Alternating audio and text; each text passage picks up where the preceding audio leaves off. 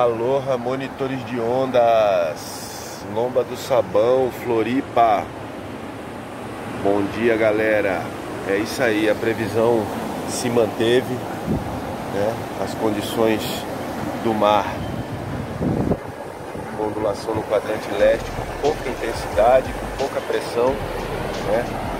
E a gente aguarda nas próximas 24 horas aí uma intensificação na altura e na força das ondas aqui no litoral de Floripa, no litoral catarinense, mas no litoral gaúcho já temos ondulações mais fortes, com mais intensidade.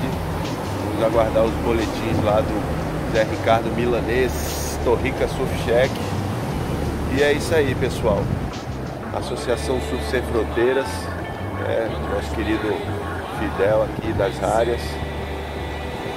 Em breve a gente vai fazer um bate-papo ao vivo falando sobre as ondas, a importância do conhecimento e do monitoramento do oceano para a prática dos esportes na linha de arrebentação. Então é isso galera, vamos ficar ligado aí né, com essa previsão. A intensidade do vento sul-sudeste vai manter e vai aumentar durante o dia. Então a gente já sabe aquelas praias que funcionam nessa condição. Aí o aviãozão. Aí não nega, né? Que a gente está aqui no lugar certo. Lomba do Sabão, Areias, Floripa, Campeche.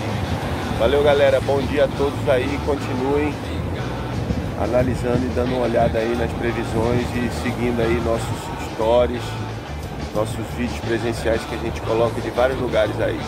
Em breve, muitas e muitas novidades com relação ao monitoramento presencial no Brasil inteiro. Aloha, galera!